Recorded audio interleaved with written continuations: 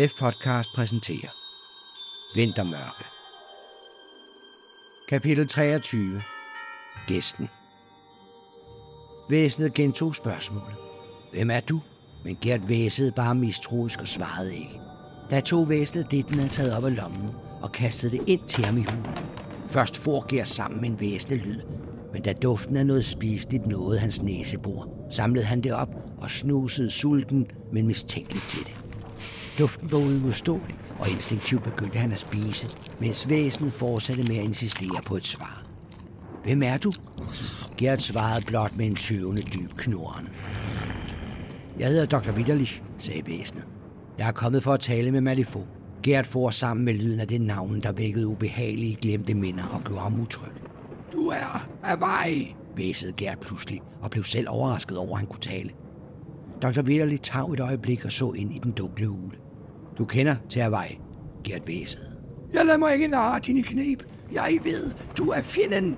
Igen var der stille, og lyden fra snestormen udenfor fyldte det kolde soveværelse.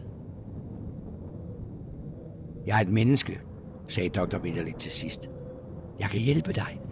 Jeg har set de bøger, I har læst. Jeg ved, hvad I har søgt, og jeg tror, jeg ved, hvad du har set. Du ved intet om, hvad jeg har set, væsede Gert. Jeg har set de knuste ruiner af templets skriblier. Jeg har klatret gennem Halklon-fæstningens murbrokker. Jeg har vandret på Gagavsteppen og har set det uendelige tårn Sulang Lang. Hans øjne brændte med en febrilsk glans, så Dr. Vitterlig kunne se dem gløde ind i hundens mørke. Jeg har læst i din navnløse bog. Du har set mere end hvad det menneskelige sind kan bære. Men der findes hjælp. Du er ikke alene. En besynderlig uro voksede Gert, og han begyndte at bevæge sig uroligt frem og tilbage ind i hulen. Der er ingen hjælp. Der er ingen frelse. Kun nederlag, underkastelse eller tilintetgørelse. Hvis du havde set, hvad jeg har set, ville du vide det. Igen var der stille. Jeg modtog et brev fra Malifaux, sagde Dr. Vitterlich pludselig. Han havde hørt om mig og spurgte, om jeg kunne hjælpe ham med nogle oversættelser fra gebetisk.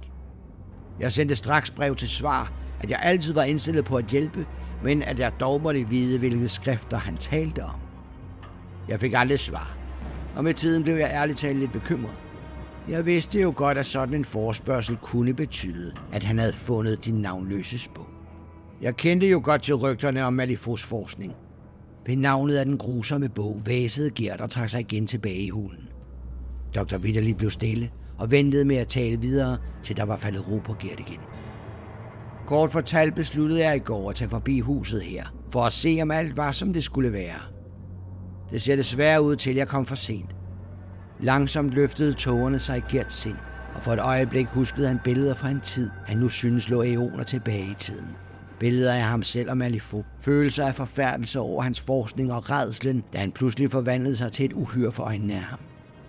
Malifaux var en af dem, væsede Gert. Han måtte dø. Dr. Vitterli svarede ikke, men nikkede eftertænksomt. Studerede i den dunkle magi sammen. Igen blev minderne vækket i Gerts sind, og så huskede han pludselig årsagen til, hvorfor han overhovedet kom. Jeg, jeg kom selv for at hjælpe ham med de oversættelser, væsede Gert. Dr. Vitterli spadede øjnene op og fik et mistroisk blik. Kan du de gebetiske tegn? spurgte han og knep øjnene sammen. Gert tænkte sig om.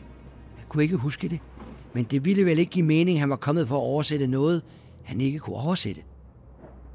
Jeg husker det ikke, svarede han fra sit skjul i den dunkle ule. Men det kunne jeg vel.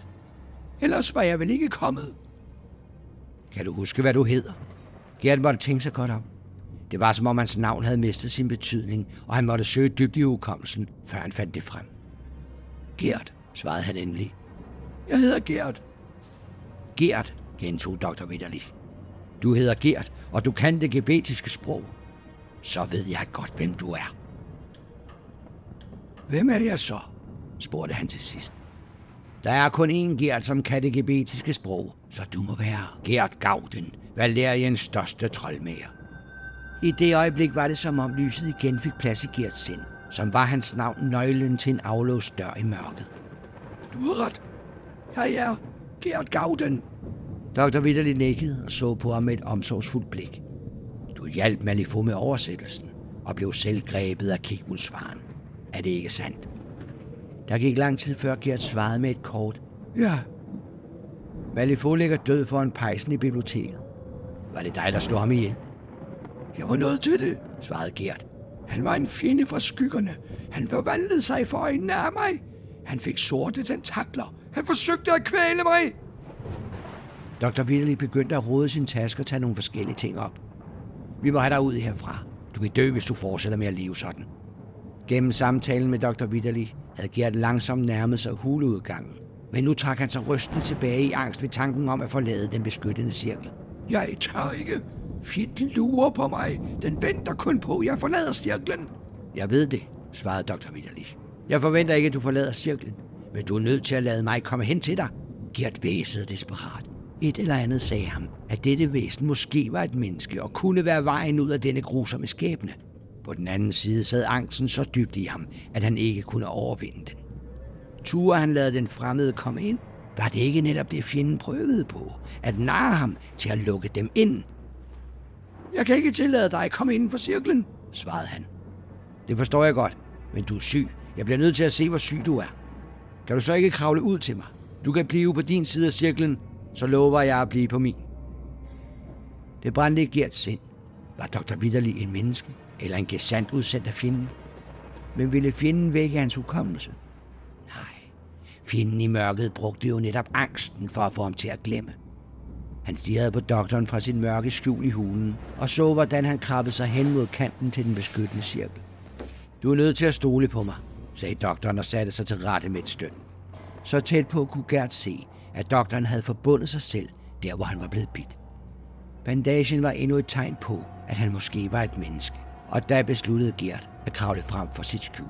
Helt ud af hulen, ud til doktoren, der sad helt roligt og nikkede opfordrende til ham. Men da Gert nåede frem, løftede doktoren pludselig hånden og stak ham med en kanyle hurtigere end en giftslange i hug. Gert væsede fortvivlet over dette forræderi, men nåede ikke at reagere, før han faldt bevidstløs om.